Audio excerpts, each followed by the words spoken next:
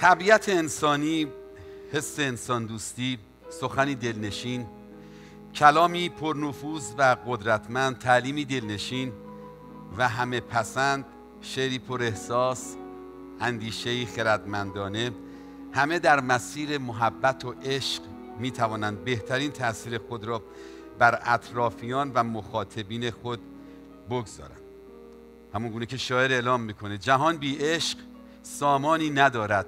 فلک بی میل دورانی ندارد.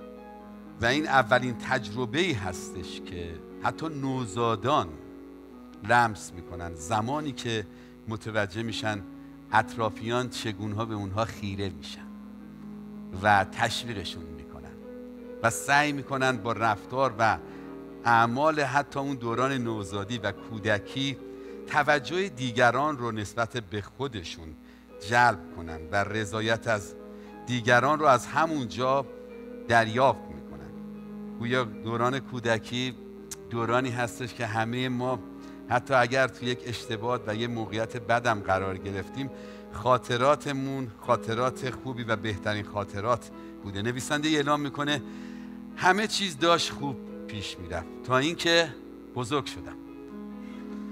و اون دوران دوران مخصوص خوبی هستش. کلام خداوند نیز ما رو تشویق می‌کنه که نسبت به خودمان نسبت به والدینمان نسبت به فرزندانمان نسبت به همسایه غریبه دشمن دوست خدا همسر خیشان کارفرما کارگر معلمی شاگردان اعضای کلیسا دولت و کشیش کلیسا خادمین کلیسا دولت ها و ملت ها و و, و تمام قشرها ما بتوانیم محبت داشته باشیم.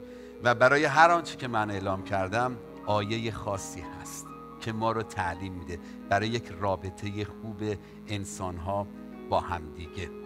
در نامی افسوسیان چهار دو می‌خونیم که اعلام می‌کنه با کمال فروتنی و تواضع و حلم متحمل یکدیگر در محبت باشید یعنی همدیگر رو درک کردن که بتونیم توی ادراک درست آیا چنین تعلیمی که باعث رضایت همه از هم بشه امکان پذیر هست یا نه؟